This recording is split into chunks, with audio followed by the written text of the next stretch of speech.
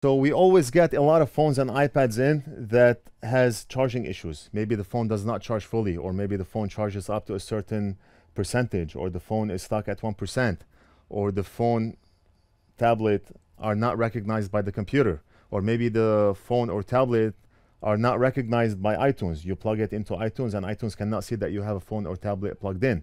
Or sometimes you may have a red or blue screen on the phone, or maybe error 9, error 4 or 13. A lot of times I find myself spending a lot of time diagnosing and troubleshooting the problem. And at times I change the TriStar chip, and when I do, the problem is fixed. But other times I change the TriStar chip, and the problem is not fixed.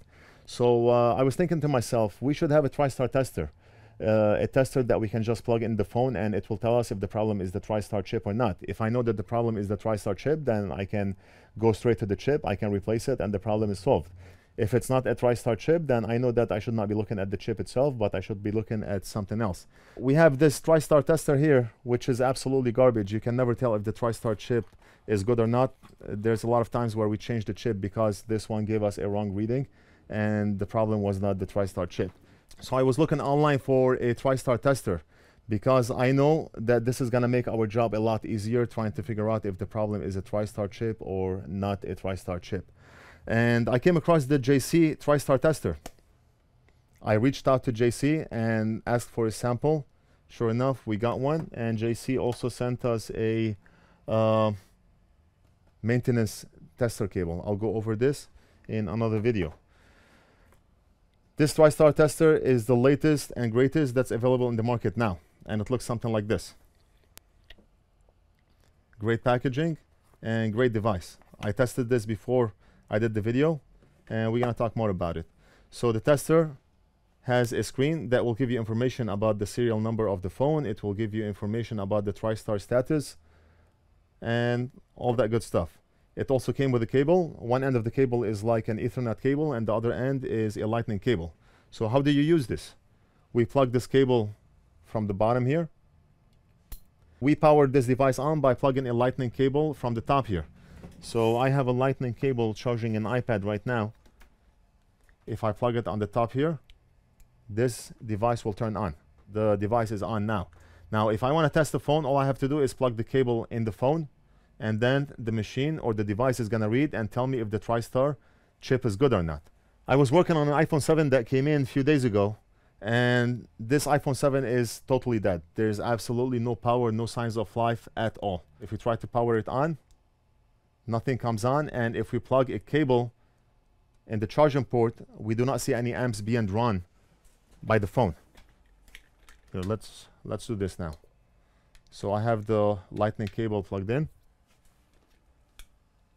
And if you look at the amp meter, it's zero. Nothing being drawn at all. I thought maybe it's a charging port issue. I replaced the charging flex cable and that did not solve the problem. So I have a charged battery here. We're gonna use it to see if that phone will power on.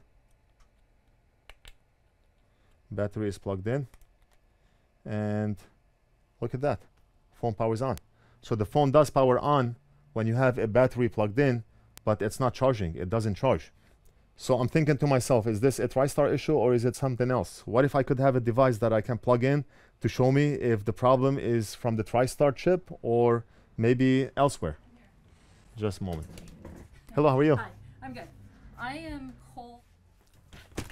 On a charged battery, the iPhone is working, but the iPhone does not charge. Even with the new battery that I have in, charging rate is zero the phone is not charging. The first thing that would come to mind is uh, the TriStar chip is probably not good, but I cannot verify this for sure. Maybe uh, I changed the TriStar chip and we still have the same problem. And that's why I was looking for a TriStar tester because a TriStar tester would make our job a lot easier. This will tell us if the TriStar chip is good or not. If it tells us that the TriStar chip is good, then we do not have to waste our time to change the TriStar chip so I spoke to JC and I told him that we're gonna test the sample. If we like it and we feel like the sample is effective, then we're gonna partner up with you, with the JC company, and we're gonna sell their products here in the US. Let's go ahead and test if the problem is from the TriStar chip. And I'm glad that we got this TriStar tester while we had this phone, so we can see if the problem is from the TriStar chip or not. So the first thing I'm gonna do is turn the phone off.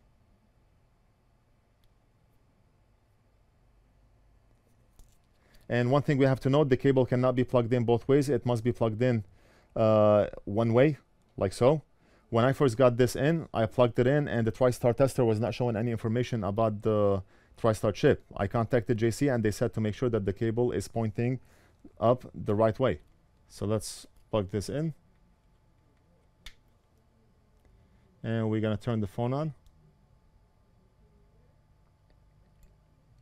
So the phone did turn on. And as you can see, what's displayed on the screen is the serial number of the phone. And we have two red markings on the TriStar chip. That means that the TriStar chip is bad. We should have OKs on all those lines, but we have uh, two reds on two of the lines.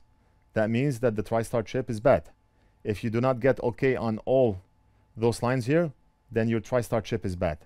I like the fact that the serial number is displayed on top here because I can take a picture of this screen here with my phone and keep it in our records. So a customer comes in, we make an invoice for the customer and I attach a picture of the findings on our system. So if the customer comes back in the future, I can look up what we did for the customer and I can also see an image of what was done for the customer. I think that's a nice feature to be able to see the serial number of the phone. So being able to tell if the TriStar chip is good or bad is priceless in our business. I like the way JC build their products. This is very, very well made. The enclosure is not plastic. This is like a steel or aluminum hard casing.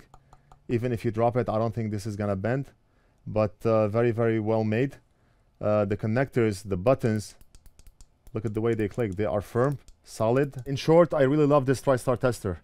I mean, the build quality is unmatched, honestly. Very, very well built. Uh, it's very easy to look at the screen. The brightness is very good. Buttons are very solid. I do not see anything that's gonna break anytime soon in the future. And what I love about this is it gives you the results in a matter of a second or two. So you plug this in the phone, you turn the phone on, and within a second you get the results if the TriStar chip is good or not. Uh, let's do one more test on a good working phone to see what we get. So this is an iPhone 7 Plus. It's currently on. I do not know if we can use this machine while the phone is on, if it's going to give us any reading or not, or if the phone has to be off first and then we turn it on. So let's find out. The iPhone 7 Plus is currently on and let's plug the cable. So we do not get any readings if the phone is already on. The phone must be turned off. So let me unplug, turn the phone off. And now we're gonna plug the cable in and we're gonna turn the phone on. And look at that, it gave us the readings.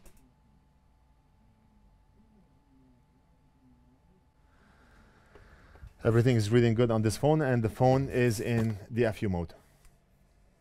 Really love this device. Really love how easy it is to use this device and it's gonna save us a lot of time and a lot of hassle in the future from knowing if the problem is the TriStar or not.